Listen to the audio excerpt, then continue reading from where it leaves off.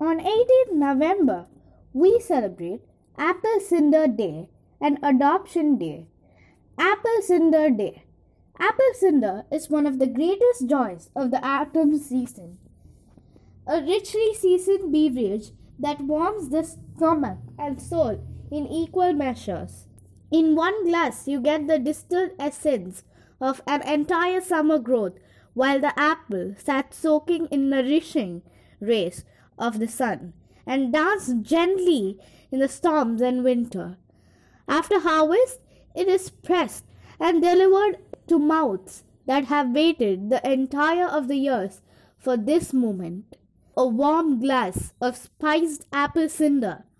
Apple Cider Day commemorates this journey and honors this history of this fine sweet beverage.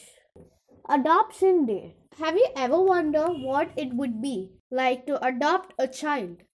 Videos on social media report all the time about children and the surprising reveal of their finalized adoption to a new family. However, this does not always occur.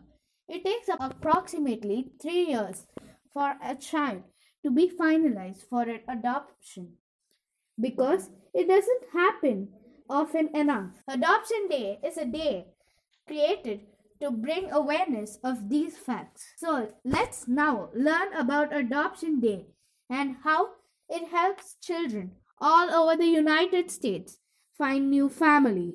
If you like this video, please subscribe the channel and hit the bell button.